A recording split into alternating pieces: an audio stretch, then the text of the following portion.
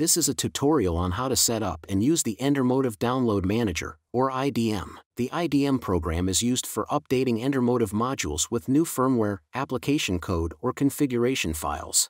You will need the IDM program, which can be downloaded from the InterMotive website, the InterMotive Download Cable and Power Supply, Kit AIPU, which can be purchased through sales. You will also need access to the module you want to update. The sections of this tutorial include Chapter 1 Downloading the IDM program, Chapter 2, Manually downloading the driver, and Chapter 3, Setting up the IDM. Chapter 1, Downloading the IDM program.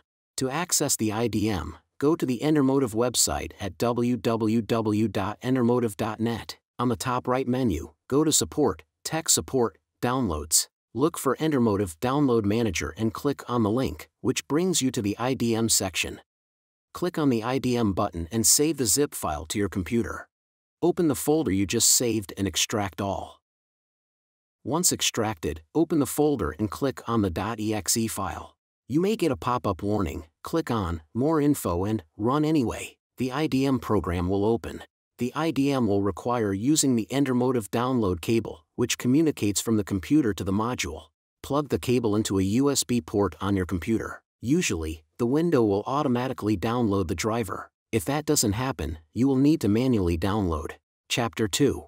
Manually downloading the driver. To manually download the driver, return to the InterMotive website. Under the IDM section, click on the VCP driver link. This brings you to the Virtual COM Port VCP driver section. Click on the website link. Scroll down the page to the Windows Desktop Operating System, and all the way to the right under Comments, click on the Setup Executable link.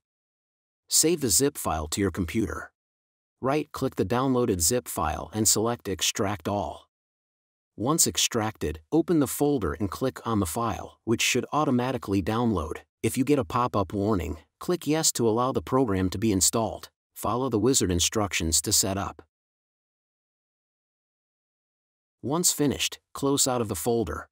Chapter 3 Setting up the IDM return to the IDM program and click Refresh.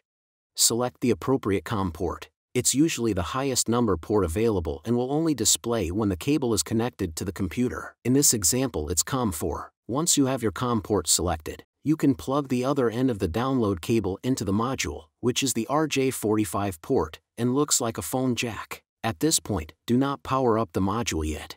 Chapter 4 Programming the Module now we are ready to program the module. Select the file you want to load into the module.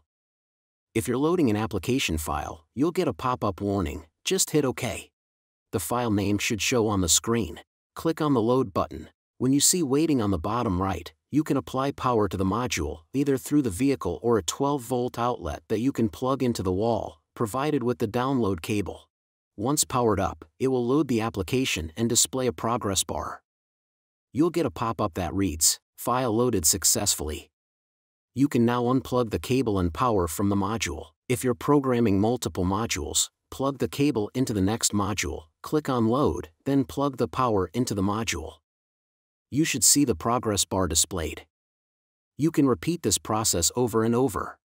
For tech support or more information, contact InterMotive at 800 969 6080 or visit our website at www.intermotive.net. Thanks for watching.